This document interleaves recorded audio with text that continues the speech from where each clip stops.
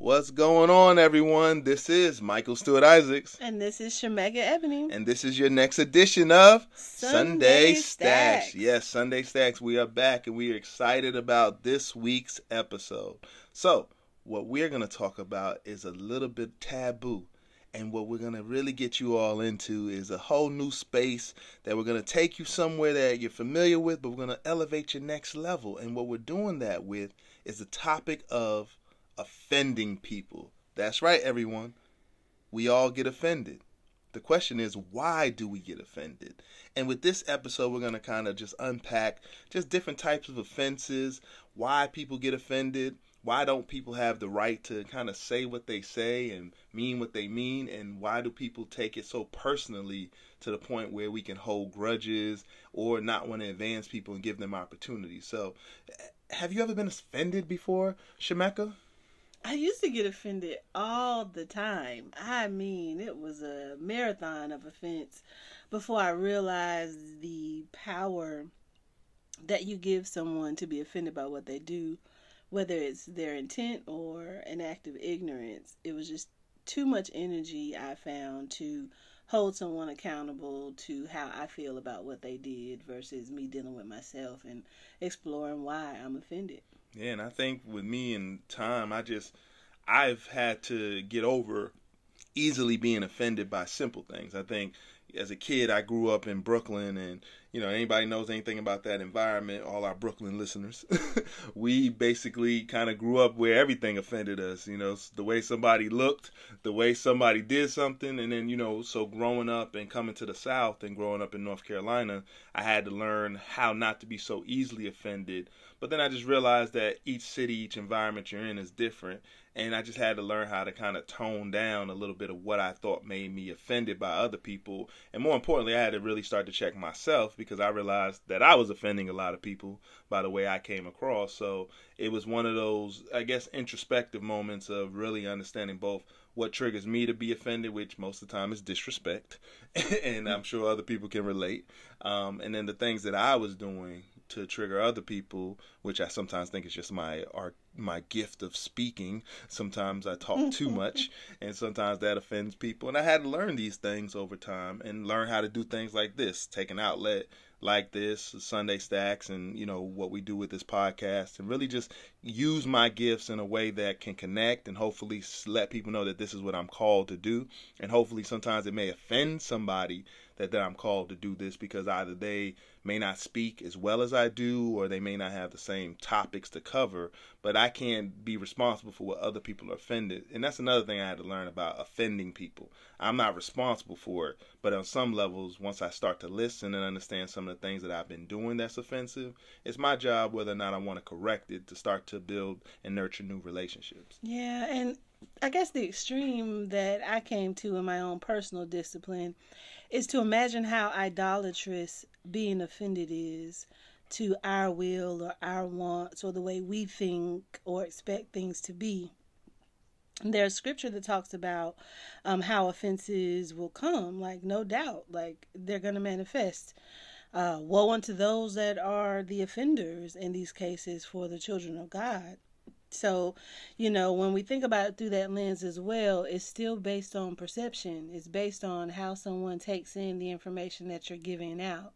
Um, and this week we had a great conversation with my friend and I, just lifting up uh, how we've learned to use guardrails in this world of sensitivities and offense. And I think both of us had the same agreement from childhood or an understanding like, if I can say it, then I'm willing to repeat it, you know. and my AKA version is I said what I said. Um, that is to own what we're saying. It's not about, you know, being caught up in gossip to offend people. But if you say it, you got to be man, woman, and child mature right. up enough to own what you said and not back down. And I've lost relationships because of me owning what I said. um, but, you know, I said what I said. So if it applied to you, then you need to grow with it. But I can't live my life trying to nurture everyone that could be hurt by what I said because maybe that was the iron you need to shift to that next level that you're supposed to be at.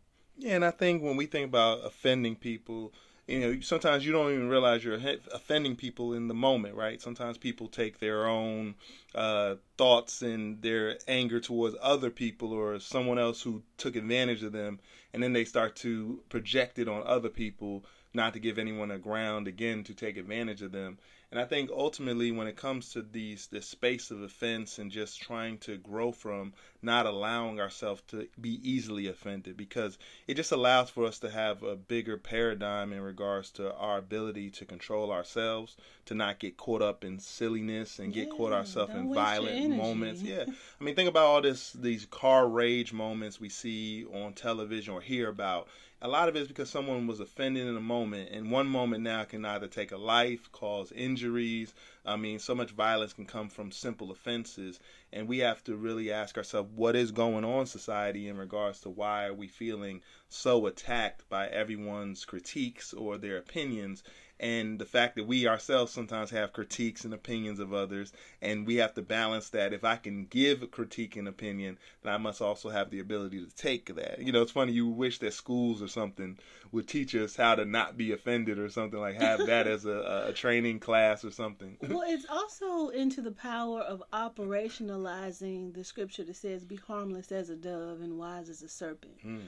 So, in that which you are saying, the correction, the opinion, you know, your righteous stance on whatever, is your response, your comment, your statement being delivered in a way that's as harmless as a dove? Mhm. A dove is harmless but yet intentional. It has a direction and it manifests its its outcome. So, are, are what kind of outcome is happening because of you releasing what you feel like needs to be said? Mm, release the doves, y'all. You hear Miss Shemekka? She said, release the doves. And I say that, I think that's a good little code word for the offenses that we think we have. Sometimes we have to sometimes address things within ourselves that's really going on that we can even take hold to anything being offensive to us. Sometimes we might even have to listen to things that sound like it offends us and listen to any grains of truth that might improve us and get us to a position where we can actually grow and be better. Um, one thing I can genuinely say about me is like I really don't want anything from people, so therefore I don't expect much from people in regards to being offended or not being offended. I rather people be honest with me and, and truly straight up with me and how I communicate with them and how they communicate. And if you're authentically yourself, then honestly offenses should neither bother you nor be anything that you're concerned about committing. So. And uh, I would say I, I don't know if it's growing up in Kinston, uh, growing up in in the '80s, uh, but uh, something that I hold near and dear to when we come to this is like we have to, you know, it's not thick skin, but we have to be moldable. We have to be able to accept correction and.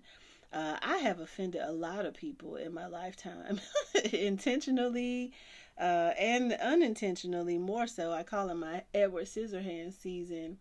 Uh, but I couldn't allow myself to be limited by that. I had to posture myself because I had a work to do, and in many cases, I would I was the catalyst that God used to manifest somebody else's mature opportunity, uh, their opportunity to grow and, and become more sharp in their service, in their work, in their leadership, um, in their living day to day. And those that couldn't handle that aspect about me didn't last long. I used to ask God why, and then I stopped because I understand like the if you're easily offended, you can't walk with me. Mm. Because I, I am the iron as sharp as iron. I'm a leader's leader, and that just shows me where your readiness is. No shame, no shade. We can walk at some point if you choose to align yourself with being able to be moldable and sharpened.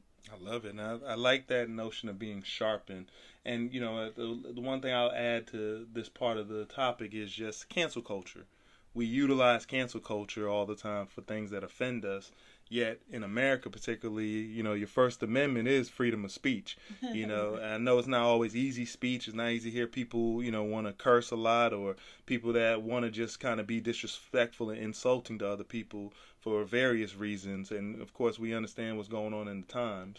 But essentially, we have to find a resiliency within ourselves to really not put ourselves in a position that we are the, the moral superiority in any capacity Mm-hmm. in terms of being offended by anything, right? If there's there's a universal, uh, you know, controller that is balancing all things, and let that be the case.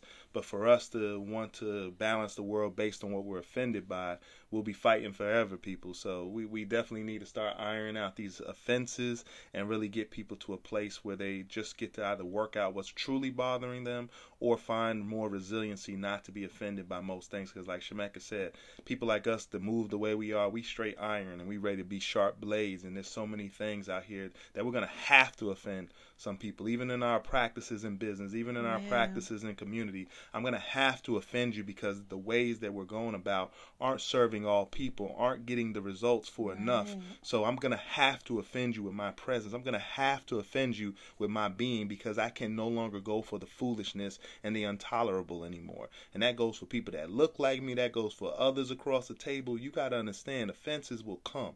But sometimes you must be offended if you're living in wrong, if you're not living your true righteous truth that we can truly start to work with.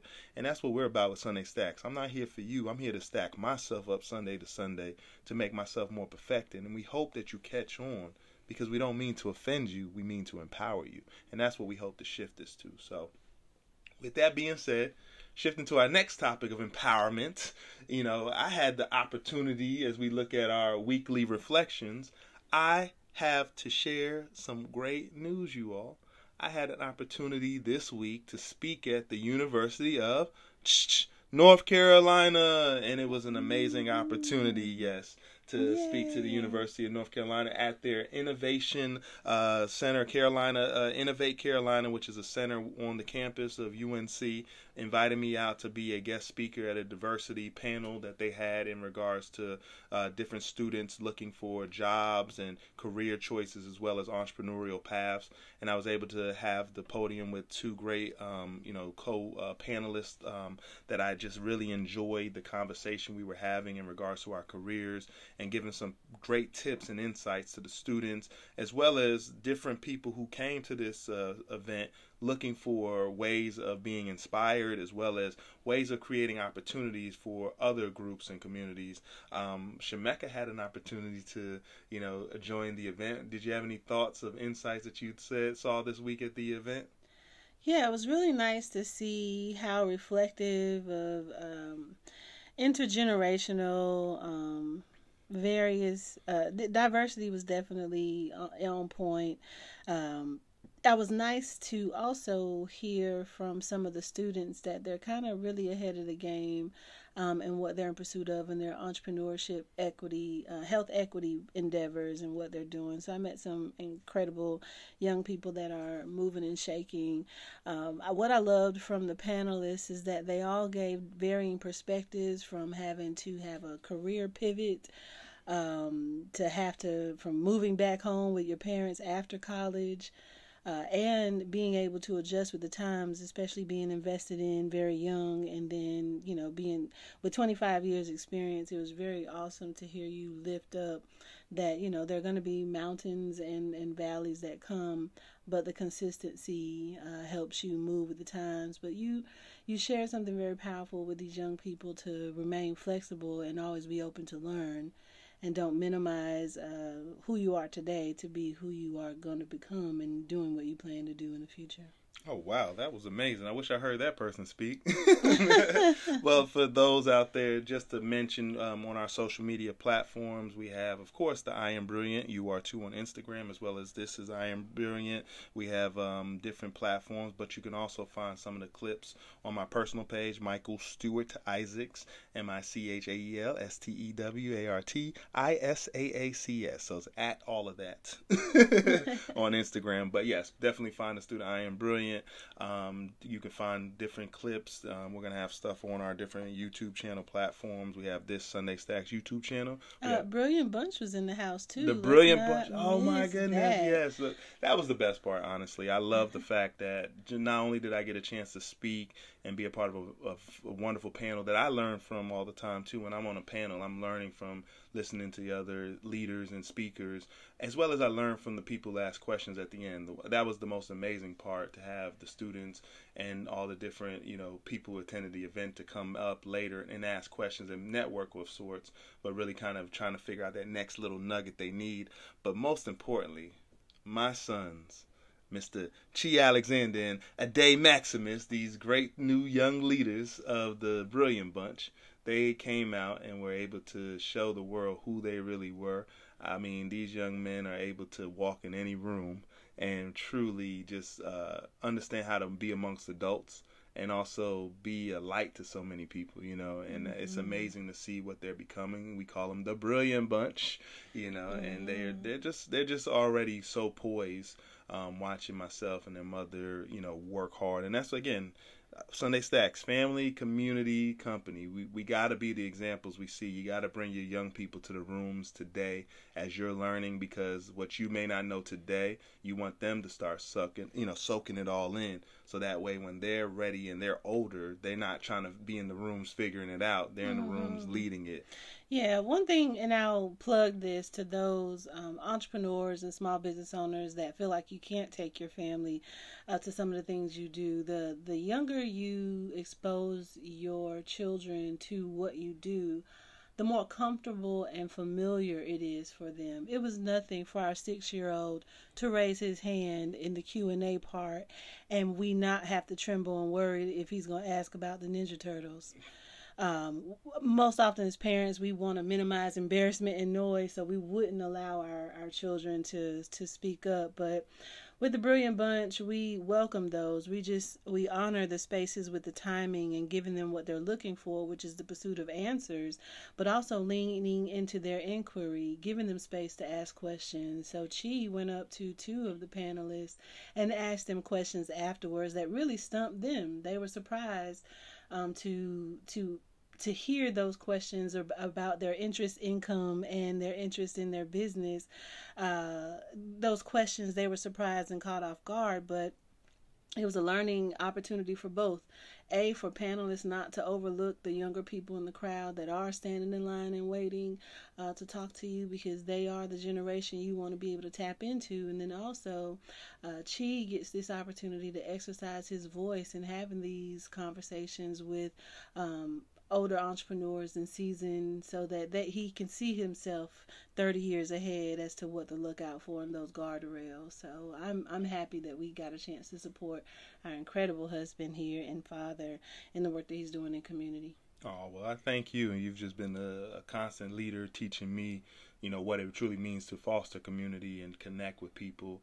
Um, sometimes entrepreneurship could be a solo, as we hear the solopreneur term, right. but you truly can be a, a lone ranger, uh, you know, a, a, you know, a lone wolf, and all these different things. So sometimes you have to take the insights and the things, the bumps and bruises, and the things you've learned, the successes you've had, and you have to share with others to get them on their right position. So, mm-hmm. as we look to get ready to close, we want to go into what we call the Whiz of the Week yes, the whiz of the week. This week we want to uh, talk, stay on our main topic, which is about offending people.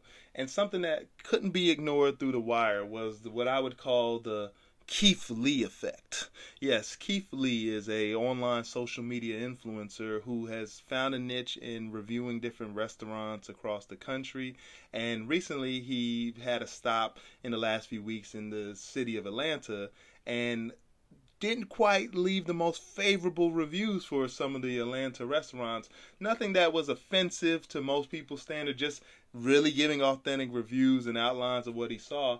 But it set off a firestorm across the internet where people started to ask the bigger question about customer service and entrepreneurship, particularly in our African American community. And this is a family conversation, but we really want to make sure that as we look at this conversation, we don't miss the point which is are we truly giving the best customer service and other things. So when I look at the whiz of the week this week, I want us to really think about ourselves as we're asking these questions as a social media, but it's a real problem if we're not doing the best we can to create environments and atmospheres that don't only just look good, but other people feel good being inside our environments. You have any thoughts about this? Well, I didn't know this young man before now. Um, obviously, I'm not on the in crowd, but uh, uh, my takeaway was the shock and and and, and uh, I guess surprise to hear of the death threats coming to his family. Like the death threats potentially coming from people that look like him. Like that's the bigger problem. Like that we're so diehard for someone or some organization or some business or some principle that it gets you locked up that will harm somebody else's family. Like, where is the black love for real? Or is it just the black love of the economic power that we're after and not real unity? Mm. Wow. Let's say that again.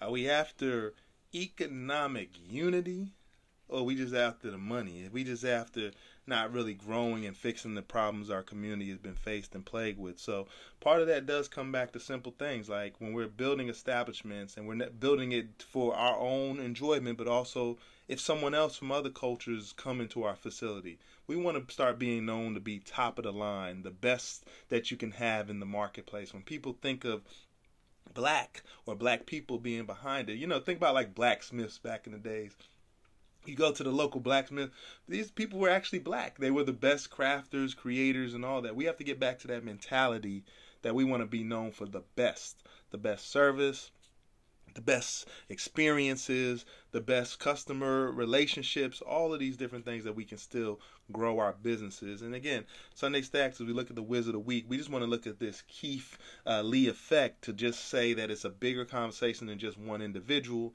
It's really about what has been exposed in this, which is the various opinions it comes when it comes to our businesses, our practices.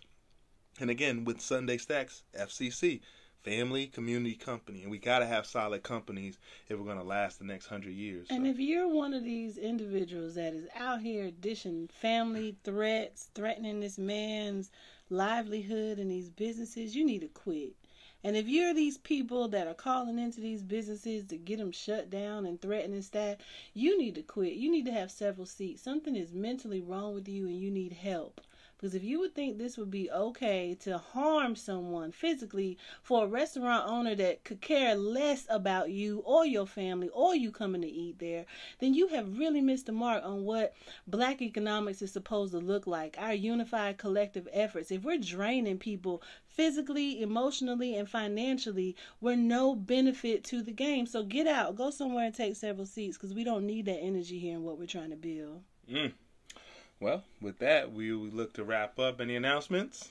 Yes, we have some announcements. We are moving and shaking. Lead Her Ship uh, support group is going to be launching in December. This is for my women founders, small business owners, uh, solopreneurs, entrepreneurs, leaders in C suite, executive companies growing up the ladder, and you need a place to build your personal development, a place to check in, human being check ins to make sure your wellness is going, and you want to join us in December, you can check that out at Shemekka at gumroad.com. You'll see a couple of different courses coming on. We also, for those of you that joined us for our launching of the Community Bill of Rights, thank you, thank you, thank you. We are launching an action group starting in February. So if you want to get in on that leadership development group that is going to be cultivating the Community Bill of Rights into actionable outcomes specific to your community and how you engage, centering community as a tool using the Community Bill of Rights. You want to jump on that nine month action group that's launching in February 2024. And drum roll.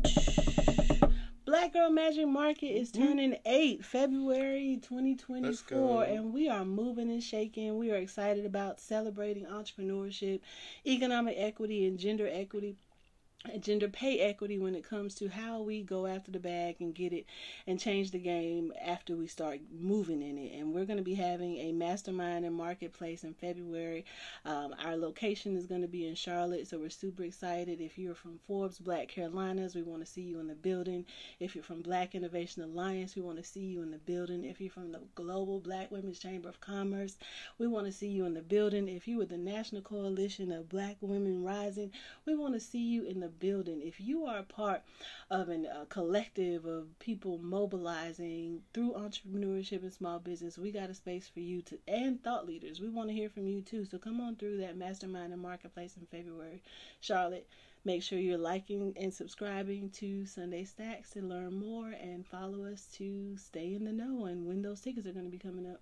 Awesome. So that's a lot that we are processing, but we are excited that there's so much coming down the pipeline. Again, we're here to feed the market. So we're thankful. Make sure you like and subscribe. Please leave any comments in the chat. We appreciate all you all that have been liking and subscribing. Tell a friend, uh, tell a friend, and definitely share. And thank you for joining us with this episode in addition of Sunday Stacks. And as we always say, I am brilliant, and you are too. Thank you for joining us, and we look forward to this ep- next edition next week.